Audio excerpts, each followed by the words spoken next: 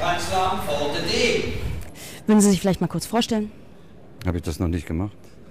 Lothar Böck, ich bin der Pförtner vom Kanzleramt an der Pforte D. Also das ist der Mann, der äh, sagt, es ist mir scheißegal, wer unter mir Kanzlerin ist. Und wer sind Sie?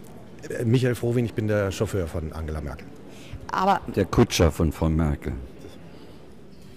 äh, wie, wie, wie, wie kommt man denn zum Kanzleramt bitte, ja? Ja, man hat ein Studium absolviert, der Pförtnerlogie. Also 20 Minuten dauert, muss man drei Sätze kennen. Wer ist das? Wo kommen Sie her? Wo wollen Sie hin? Machen Sie das nicht nochmal.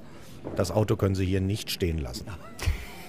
So, jetzt mal Spaß beiseite. Wie wird man denn wirklich Kabarettist? Äh, üben, üben, üben. Nein, über die Amateur-Kabarettistentum. Und dann wird's man irgendwann.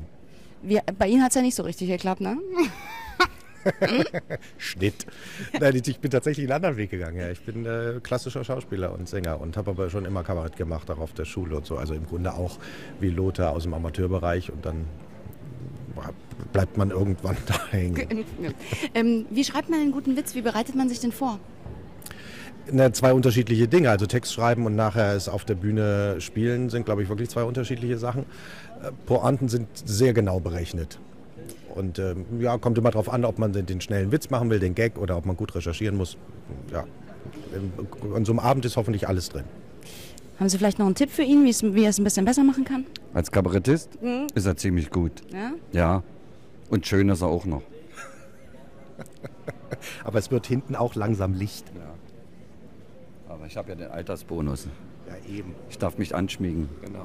Und ich kann mich ranhängen. Ja. Aber nicht reinhängen. Nein, also Schnitt. Ja.